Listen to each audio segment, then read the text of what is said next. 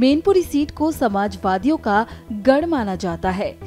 BJP यहाँ अपना परचम लहराने के लिए एड़ी चोटी का ज़ोर लगा रही है। योगी सरकार में मंत्री जयवीर सिंह को समाजवादी पार्टी प्रत्याशी डिम्पल यादव के सामने उतारा गया है। इससे यहाँ की लड़ाई और ज़्यादा रोचक हो गई है। यूपी में ये एक मात्र सीट है जिस पर पिछले तीन दशक तक किसी लहर का कोई असर नहीं रहा। और सपा हमेशा जीत दर्ज कराती आई है।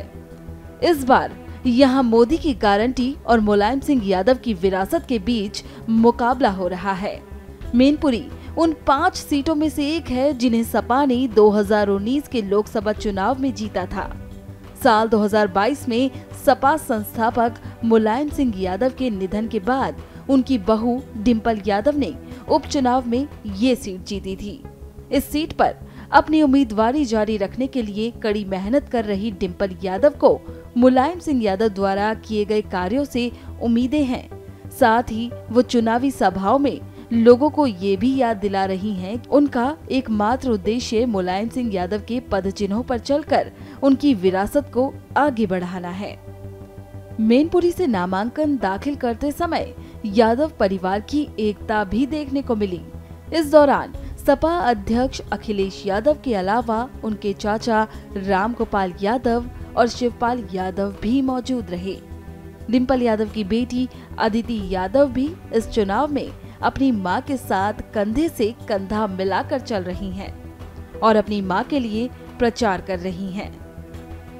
बीजेपी लोकसभा उपचुनाव में डिम्पल यादव की जीत का श्रेय मुलायम सिंह यादव के निधन के कारण उपजी सहानुभूति को जाता है हालाँकि बीजेपी इस बार सपा के बेहद मज़बूत किले को फतह करने की कोशिश में है।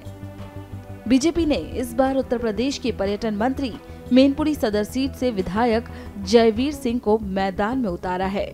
जयवीर सिंह से ही डिम्पल यादव का सीधा मुकाबला है। केंद्रीय गृह मंत्री अमित शाह ने एक चुनावी रैली में लोगों से जयवीर सिंह को जिताने की अपील की थी। केंद्रीय गृह मंत्री की अपील का लोगों पर कितना असर पड़ता है, ये तो 4 जून को ही पता चलेगा। मेनपुरी संसदीय क्षेत्र में पाँच विधानसभा क्षेत्र, मेनपुरी सदर, भोगांव, किशनी, करहल और जसवंत नगर है। साल 2022 के विधानसभा चुनाव में समाजवादी पार्टी ने करहल, किशनी और जसवंत नगर सीटें जीती थी, जबकि भाजपा ने मेनपुरी सदर और भोगांव सीट जीती थी। यादव परिवार कई बार अंदर ही अंदर कलह के कारण भी अपना अस्तित्व खतरे में डाल रहा था। लेकिन अब यादव परिवार एकजुट है और इस बार स्थिति अलग है। मेनपुरी में लोकसभा के तीसरे चरण यानी आगामी सात मई को मतदान होना है।